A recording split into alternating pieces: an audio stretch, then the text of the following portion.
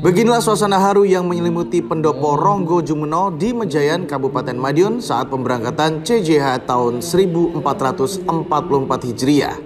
Total 440 CJH asal Kabupaten Madiun diberangkatkan menuju asrama haji Sukolilo, Surabaya.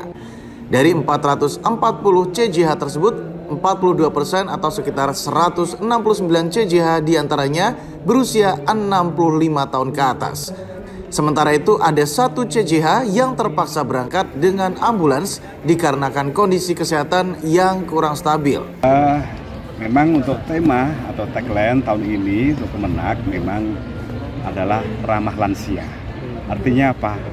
Mulai skema 13, ada 13 skema itu mulai dari petugas hajinya, kemudian ketika pembentukan kloternya, kemudian ketika manasiknya, kemudian sampai nanti pemberangkatannya di asrama hajinya, kepulangannya juga nanti semua itu juga kita prioritaskan sebagian adalah untuk lansia karena memang sekian persen termasuk di Kabupaten Madiun itu adalah jamaahnya adalah lansia.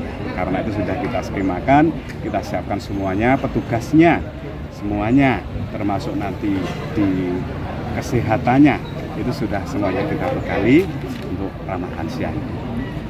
Bupati Madiun Ahmad Dawami mengimbau para CJH untuk senantiasa menjaga kesehatan. Salah satunya dengan rutin meminum air setiap 30 menit sekali. Pasalnya, suhu di Tanah Suci saat ini terbilang tinggi. Pak, uh, jemaah haji Kabupaten Madiun ini seperti apa Pak? Di jamaah Kabupaten Madiun dari semuanya, total semuanya kemarin ada tambah hampir lebih banyaknya yang lansia makanya persiapan dari sisi para pendamping bahkan seluruh tenaga kesehatan yang tenaga kesehatan dari kita yang ikut rombongan sama haji kita beri tugas juga menjaga kesehatan semuanya sama jadi obat-obatan semuanya kita persiapkan.